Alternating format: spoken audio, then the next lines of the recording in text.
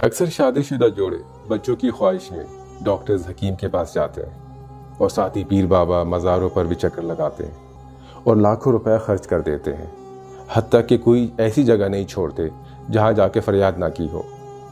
मतलब कि अल्लाह सुबहान ताली के सिवा हम हर एक के दर पर जाते हैं।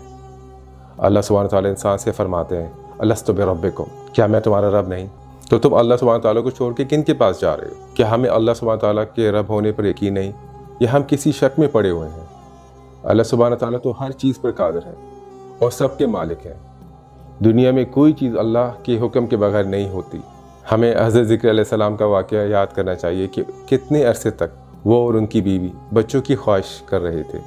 लेकिन उनकी बीवी बाँझ थी और वो भी उम्र में ज़्यादा थे। हज़रत ज़िक्र सलाम को मालूम था कि अगर वो अल्लाह सुबहान ताली से दुआ करेंगे तो वही सब कुछ कर सकते हैं और मुमकिन हो सकता है। उन्होंने अल्लाह सुबहान से दुआ की। परवरदिगार मुझे अपनी जनाब से औलाद साल फरमा।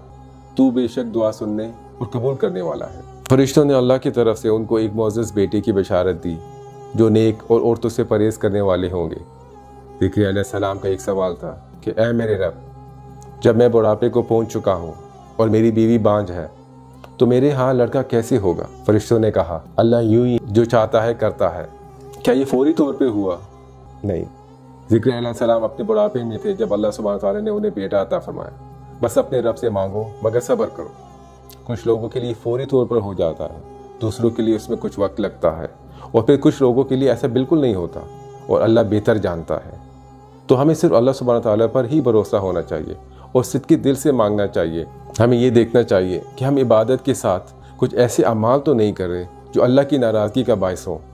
बस अल्लाह सुबहान ताली की खुशनुदी हासिल करने के लिए हर वो अमल करें, जिससे अल्लाह सुबहान ताली राज़ी हो जाए और हमें सबको औलाद सौल अता फ़रमाए।